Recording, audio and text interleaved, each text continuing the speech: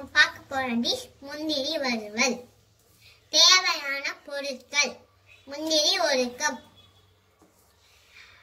மிளகு பொடி தேவையான அளவு. மிளகாய் பொடி தேவையான அளவு. உப்பு தேவையான அளவு. எண்ணெய் அரை கப் நெய் ஒரு ஸ்பூன் பற்ற பத்த வச்சுட்டு கடாய் வச்சுக்கலாம். கடாய் சூடா சூடானதுக்கு அப்புறம் இந்த ஒரு ஸ்பூன் நெய்ய போட்டுக்கலாம். போட்டதுக்கு அப்புறம் இந்த எண்ணெய ஊத்திக்கலாம்.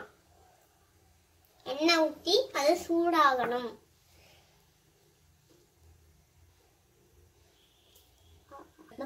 எண்ணெய் சூடானதுக்கு அப்புறம் இந்த ஒரு கப் முந்திரிய போட்டு கொஞ்சம் கொஞ்சமா ஆட் பண்ணி நல்லா இதை இப்போ வறுக்கணும். இப்போ கொஞ்ச நேரத்துக்கு நல்லா வறுக்கணும். இந்த எண்ணெயில.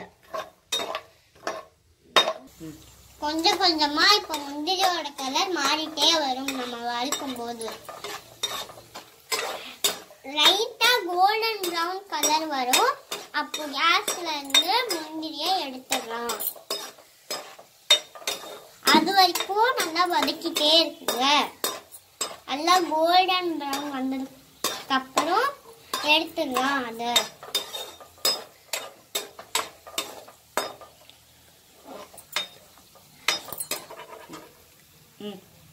இப்போ எடுத்துடலாம்.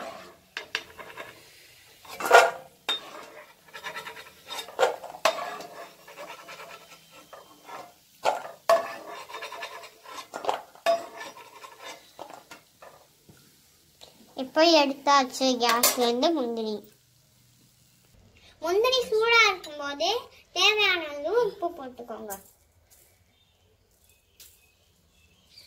அடுத்து மிளகு பொடி கொஞ்சமாக போடணும். கொஞ்சமா தேவையான அளவு மிளகாய் பொடி போட்டுக்கலாம். இப்போ எல்லாம் மிக்ஸ் ஆகிற மாதிரி நல்லா கலந்து விடுங்க. நல்லா கலந்துக்கிட்டே இருக்கும் அப்பதான் அந்த டேஸ்ட் வரும் உங்களுக்கு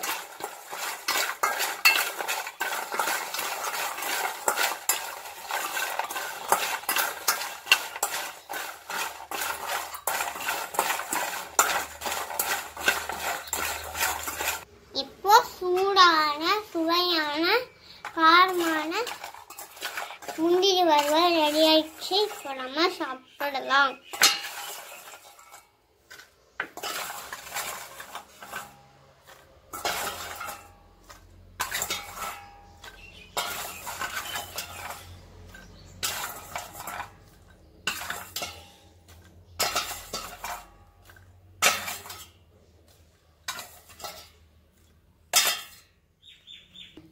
இப்போ முந்திரி வறுவல் ரெடி ஆயிடுச்சு.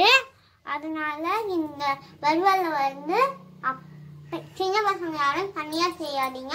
அப்பா அல்லது அம்மாவோட ஹெல்ப்போட செய்யுங்க. தேங்க்யூ